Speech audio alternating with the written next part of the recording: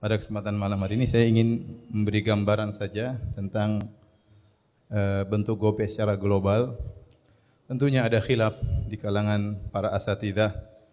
Ya, kita menghargai sudut pandangan yang berbeda di antara mereka, tapi kita perlu tahu hukumnya dan kira-kira mana yang lebih kuat akan saya paparkan insyaallah dengan sederhana pada malam hari ini ya. Uh, sebelumnya saya ingatkan yang jadi masalah adalah mengambil diskon dari apa? GoPay. Kalau nggak ngambil diskon, tidak mengapa ya. Baik. Uh, ada tiga pihak dalam hal ini. GoPay atau penerbit kan? Kemudian ada konsumen.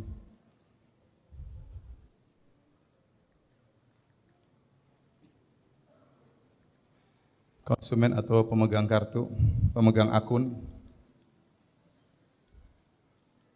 Ada Bank Indonesia ya. Uh, adapun proses cara GoPay maka ada namanya dana floating ya, yaitu konsumen melakukan top up ya. Top up ya yaitu ngisi duit ke mana? Ke GoPay. Sebut dengan dana apa? Dana float. Kemudian nanti dana tersebut dari GoPay disimpan disimpan di BI. Ya, dikatakan sekitar kurang lebih ya kurang lebih 30% untuk giro sehingga bisa digunakan dana tersebut kalau konsumen ingin membeli dana tersebut ada, dana liquidnya itu ada ya. Dana liquid ya.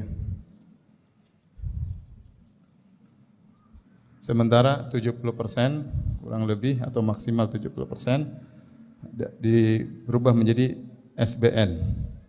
Surat berharga negara. Baik. Apa muamalah antara GoPay dengan BI Ya, ini muamalahnya apa?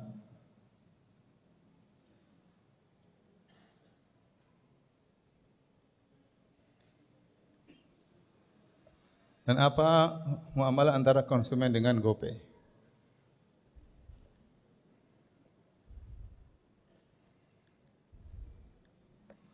Nah, ada perbedaan sudut pandang di karangan para pengamat tentang muamalah antara konsumen dengan GoPay saya bisa ringkaskan dari yang saya dapat informasi dari internet ya. Kira-kira ada beberapa pendapat ya.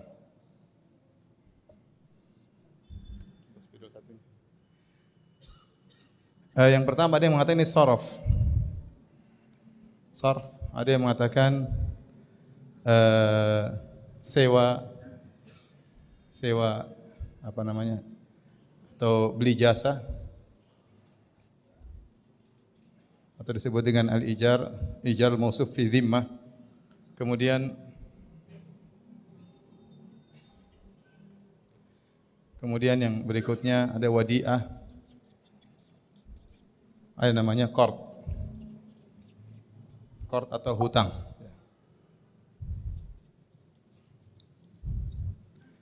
Uh, Adapun sarf kita itu satu-satu. Sarf itu apa? Sarf itu tukar menukar mata uang. Saya punya rupiah, saya tukar dengan apa? Dolar. Mereka menganalogikan sarf itu karena e-money, electronic money, GoPay, itu mata uang tersendiri kata mereka. Sehingga tatkala kita bayar rupiah, seakan-akan kita beli mata uang yang yang lain. Sehingga mereka mata itu namanya sarf seperti kita beli dolar. Apa kalau bahasa Indonesia-nya sarf itu? Yaitu apa? Money changer kan? Ya, jadi kita membeli rupi, beli dolar dengan rupiah itu namanya saraf ya. Uh, mereka mengatakan GoPay mengeluarkan e-money ya, e-money GoPay, kita beli dengan rupiah kita dapat e-money ya. Itu logikanya demikian. Tetapi logika tersebut kurang pas. Kenapa? Karena sebenarnya tidak ada jual beli. Orang tidak memahami kalau dia top up ke GoPay jual beli atau tidak? Enggak. Yang ada kita simpan saldo, yang ada kita taruh duit di situ ya. Lagian tidak ada tukar menukar yang ada misalnya kita mau isi GoPay misalnya di di mana lah. Ya, nanti yang kita perpindahan adalah uang kita berubah menjadi uang elektronik dipindah ke tempat lainnya atau kita pindahkan dari rekening kita ke rekening GoPay. Yang ada perpindahan uang elektronik dari rekening kita menuju rekening GoPay. Sama halnya tatkala kita taruh uang di bank, kita keluarkan kartu debit. Kan ada saldonya di situ. Apakah ini mata uang tersendiri? Kan tidak. Ini adalah uang yang kita simpan di bank ada jumlahnya di situ. Jadi kartu debit sendiri itu bukan mata uang tersendiri yang kita beli. Paham atau tidak? Paham ya? Maka kartu GoPay itu atau akun GoPay itu bukan mata uang yang kita beli, tapi kita melakukan top up pengisian. Pengisian ya. Atau kalau kita ngisi dari sisi orang juga kita kasih uang uang orang, dia pindahkan uang elektroniknya menuju rekening apa? GoPay. Yang ada perpindahan aja, bukan jual beli. Sehingga sorof itu kurang tepat. Kemudian ada yang mengatakan ini adalah ijar beli jasa. Beli jasa. Beli jasa apa? Beli jasa itu mungkin bayangannya saya punya GoPay, saya bayar dulu, nanti saya akan mendapatkan jasa sesuai dengan saldo saya. Misalnya saya top up 100 ribu. Jasanya apa? Nanti belakangan tidak apa-apa. Jadinya ijar al-mausuf fi dhimmah. Membeli jasa yang ditanggungkan belakangan baru jasanya. Duitnya dulu, jasanya belakangan. Jadi pertanyaan jasanya apa yang kita beli? Katanya adalah kita sudah beli ke GoPay, jasanya belakangan, jasanya ngantar kita ke mana-mana dengan total 100 ribu tersebut. Namun ini kurang tepat kenapa? Kurang tepat. Dari beberapa sisi yang pertama, eh, kalaupun kita beli jasa, jasanya nggak jelas. Kita punya yang 100 ribu nih. Apa jasa yang kita beli dari 100 ribu ini? Sementara harga bisa berubah-ubah. Kalau waktunya lagi padat, jadi mahal Gojek. Kalau murah, mungkin lebih murah. 100 ribu ini berapa jaraknya? Per kilometer berapa? Enggak jelas, semuanya majhul. Semuanya enggak jelas. Seorang mengatakan beli jasa, misalnya kita umroh. Kita umroh kan kita bayar dulu. Jasanya jelas. Anda kalau bayar umroh, 25 juta, ini pelayanannya nih. Satu, dua, tiga. Itu namanya kita beli jasa yang tertunda. Paham? Tapi jasanya jelas. Adapun GoPay, kita kita anggaplah itu jual beli, kita beli jasa, taruh 100 ribu top up, kita nggak tahu apa yang mau kita dapatkan 100 ribu tersebut, nggak jelas. Mengantar ke Sunter kah, mengantar ke mana, harganya berapa per kilometer, paham? Itu pertama. Yang kedua ternyata uang GoPay itu bukan cuma buat beli jasa, beli barang juga. GoFood itu kan beli. Jadi apa yang kita beli nggak tahu, majhul. Sementara dalam GoPay itu mungkin ada 15 15 item, di bawah masing-masing item ada banyak. Jadi masih banyak kemungkinan yang mau kita beli yang enggak jelas. Sehingga kalau dibilang itu adalah pembelian jasa, maka tidak tepat. Paham sampai sini enggak? Ini perlu antum harus tahu ya. Bahwasanya kalau dibilang jasa, jasanya enggak jelas. Kalau beli barang lebih lagi enggak jelas apa yang mau antum beli. Sehingga tidak bisa dikatakan terjadi jual beli karena dibangun di atas sesuatu yang tidak jelas. Bahkan bisa jadi kita ambil duitnya. Sudah kita memutuskan dari pihak sendiri kan enggak boleh. Sudah jual beli terus kita putuskan tengah jalan, eh udah enggak jadi, saya ambil lagi. Nah, jadi yang jelas ini bukan apa? Bukan ijar, bukan jual beli jasa. Tinggal dua kemungkinan yang kuat, wadiah atau kord. Bedanya wadiah sama kord. Wadiah itu nitip. Kord itu ngutang. An, saya nitip motor ke si B. Saya si A nitip motor ke si B. Maka apa yang dilakukan oleh si B? Si B tidak boleh otak-atik motor tersebut, ya. ya. Tidak boleh dia apa namanya jual, tidak boleh dia jadi gadaikan misalnya ya. Dan uh, dia amanah memegang motor tersebut. Kalau ternyata motor tersebut terjadi kerusakan akibat kelalaian dia atau akibat dia apa namanya ikut campur dalam urusan motor tersebut, akhirnya terjadi kerusakan, maka dia tanggung jawab. Tetapi kalau dia amanah ternyata ada maling rampok ke rumahnya, motornya diambil nggak ada masalah. Itu wadiah. Jadi barangnya nggak di kotak-kotak, nggak diurus. Misalnya kalau kita wadiah di bank, kita taruh di bank di box, kita pegang kunci sudah. Kita wadiah di bank tersebut. Bisa jadi kita bayar, bayar untuk wadiah penjagaan, jasa dia untuk menyimpan duit kita. Itu namanya wadiah. Cirinya barang itu masih milik kita. Itu ciri utamanya. Barang itu masih milik apa? Milik kita. Bukan milik tempat kita menitipkan. Nah, kalau kort tidak. Kort kalau kita kasih duit, si A pinjamkan uang ke B, kepemilikan berubah. Uang tadi tadinya milik A, jadi milik apa? B. B boleh gunakan ke mana-mana. B boleh digunakan, tapi B harus bertanggung jawab bayar utang. Dia punya utang sama si A. Tetapi uang yang tadi dipindahkan si A ke B jadi milik siapa sekarang? Milik B. Itu namanya ngutang. Makanya kalau kita taruh uang di bank, itu bukan wadiah karena uang tersebut bakalan digunakan bank untuk banyak kegiatannya. Maka kalau kita taruh uang di bank itu namanya apa? Kort, hutang. Makanya kalau kita terima bunga, tidak boleh. Seandainya itu wadiah, kita dikasih bunga, nggak masalah karena itu bukan hutang. Kenapa dikatakan bunga bank riba? Karena uang yang kita taruh diteletakkan oleh nasabah dalam bank, itu hukumnya apa? Kort. Karena uang tersebut jadi milik bank dan bank boleh mengolahnya hanya saja kapan kita perlu bank bisa kasih. Sampai sini paham? Baik, sekarang kasusnya begini. Inilah khilaf yang kuat antara wadiah dengan apa? Kort. Waktu taruh dana float, dananya masuk ke GoPay. GoPay-nya simpan di mana? BI. Nah, BI melarang GoPay otak-atik uang ini. Seakan-akan ini wadiah. Paham? Karena uangnya tidak boleh digunakan oleh GoPay untuk pembiayaan yang lain, enggak boleh dan itu ada aturannya. GoPay tidak boleh menggunakan dana floating yang dikumpulkan masyarakat untuk pembiayaan apa pun. Sehingga seakan-akan dia apa? Wadiah. Zahirnya seakan-akan apa? Wadiah. Tetapi jadi masalah begini. Masalahnya uang ini waktu disimpan di BI, ini aturan BI. Uang ini atas nama siapa?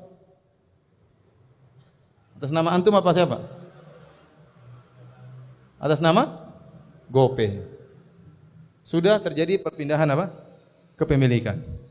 Dan ini ada bunganya, ini ada bunga. Ini juga ada bunga. Bunganya yang terima siapa? Yang terima Gope. Bunganya yang terima apa? Gope. Saya tanya sama antum, muamalah antara Gope dengan BI, muamalahnya apa? Hutang Gope, simpan uang di mana? Di BI. Ini kan hutang kan? Buktinya BI ngolah ini, bunganya kasih ke siapa? Ke Gope. Paham? Ini uang diolah oleh BI. Ya. Jadi bunga yang didapatkan dari dana yang terkumpul dari dana floating ini adalah untuk apa? untuk GoPay. Dari sisi ini saya katakan bahwasanya hubungan antara GoPay dengan BI adalah ini uangnya GoPay. Cuma BI buat peraturan tidak boleh digunakan sebagai pengamanan agar GoPay siap bayar hutang kapan pun. Paham? Tapi muamalah terhadap uang ini, dia muamalah terhadap uang kita atau uang GoPay? Saya tanya sama antum, muamalahnya bank menyikapi uang ini yang dikumpulkan? Sebagai uang kita konsumen atau uang gope? Uang gope. Makanya bunganya dikasihkan kepada siapa? Gope. Berarti uang ini sudah diolah oleh dipakai oleh GoPay dengan pindah nama dan disimpankan ke bank, bunganya dia yang ambil. Dari sisi itu berarti antara GoPay dengan bank itu adalah hutang. Nah, kalau antara GoPay dengan bank itu hutang, kor maka lebih utama antara kita dengan GoPay. Logikanya. Ini namanya siapa? Ari. Saya kasih uang Ari 100 ribu. Nitip ya Ari ya. Saya boleh pakai nggak simpan ke Reza? Oh boleh. Reza boleh buat dagang? Boleh. itu namanya bukan nitip. Itu namanya saya utangkan ke mana? Ke Ari. Ari utangkan ke mana? Ke Reza. Seandainya uang itu titipan, Ari nggak boleh kasih ke Reza, nggak boleh. Reza nggak boleh ngolah. Ya. Reza nggak boleh ngolah, paham? Tatkala Reza ngolah, bahkan kasih bunga sama Ari, berarti uang Ari ke Reza itu apa? Hutang. Kalau uang Ari ke Reza hutang itu padahal uang kita, berarti kita ngutangin siapa? Reza. Lebih utama kita ini ngutangin siapa? Reza. Dan ini semua aturan ada. Maka jangan mengatakan saya niatnya wadiah. Hendak ente waktu taruh itu sudah tahu aturannya. Aturannya begitu. Sama, Anda taruh uang di bank niatnya untuk wadiah, bisa enggak? Enggak bisa. Taruh di bank uangnya dipakai berarti itu hutang bukan wadiah. Paham? Paham tidak? Dari situ yang benar bahwasanya muamalah kita dengan GoPay, Allah alam bisab adalah apa? Qard hutang. Dan kaidah mengatakan kullu qardin jarra naf'an fahuwa riba. Bahwasanya setiap utang piutang yang mendatangkan keuntungan maka itu riba. Ada yang mengatakan Ustaz, tetapi kita katakan wadiah kenapa? Karena GoPay punya peraturan. kalau akun kita hilang, dia tidak mau tanggung jawab. Kalau hutang harusnya tanggung jawab. Kita bilang itu peraturan yang salah dari GoPay. Apakah wadi atau kort dia harus tanggung jawab karena yang hilang cuma akun aja. Harusnya dia uangnya masih ada enggak? Masih ada. Kenapa dia bilang dia tidak mau tanggung jawab? Itu aturan yang salah dari GoPay dan tidak merubah status dari kort. Tetap aja kort. Itu aturan yang salah dari apa? Dari GoPay. Sampai di sini paham? Ya, jadi lagi pula ini poin pertama. Poin kedua, toh intinya ikhwan, uang kita ini semuanya ke mana? BI. BI ini olah ya. Nanti dapat riba. Secara umum kita membantu proses terjadinya apa? Riba. Maka kalau bisa kita tidak kasih uang di GoPay selama tidak darurat, lebih baik tidak usah pakai GoPay. Sama asalnya, apakah boleh kita menabung di bank? Hukum asalnya, kalau kita menabung di bank, kita membantu proses riba. Karena uang tersebut akan digunakan oleh bank konvensional untuk apa? Riba. Dan Allah berfirman, "Wala ta'awun al itsmi wal udwan." Jangan kalian tolong-tolong menolong dalam dosa dan permusuhan. Dan kita tidak boleh ter membantu terjadi prosesnya riba. Para ulama mengatakan boleh kita taruh uang di bank kalau darurat, khawatir hilang. Karena uang kita pasti digunakan untuk apa? Praktek apa? Riba. Apalagi kita dikasih bunga. Jadi, saya rasa tidak ada darurat harus pakai GoPay. Ente bisa bayar langsung, ya. Bisa atau tidak? Bisa. Kalau ada yang bertanya saya persilakan. Ya.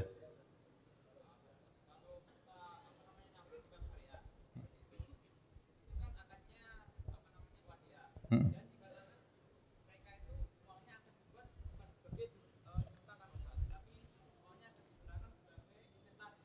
Nah kalau investasi nggak ada masalah, nggak ada masalah. Bukan untuk apa? Bukan untuk uh, praktek yang riba. Saya bicara bank konvensional, bank apa? Konvensional. Tapi yang penting antum paham ini. Setelah itu antum terserah merojikan yang mana. Tidak perlu ribut, tidak perlu menghina, tidak perlu merendahkan. Masing-masing punya pandangan. Yang mengatakan halal, hukum asal halal silakan. Yang berhati-hati mengatakan itu riba juga silakan. Wallahu taala alam bisawab.